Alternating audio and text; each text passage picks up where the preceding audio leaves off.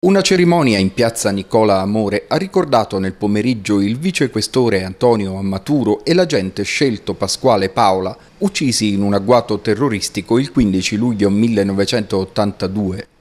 Nella chiesa di Santa Maria Donna Regina Nuova si è poi svolta l'undicesima edizione del premio Ammaturo in memoria di quella duplice scomparsa per premiare donne e uomini della Polizia di Stato che si sono distinti nella loro attività lavorativa per ricordare ma anche per continuare a ricercare la verità, tra gli altri su questo duplice omicidio in un periodo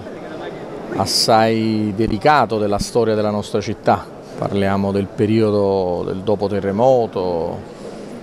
più o meno nella stessa cronologia del caso Cirillo,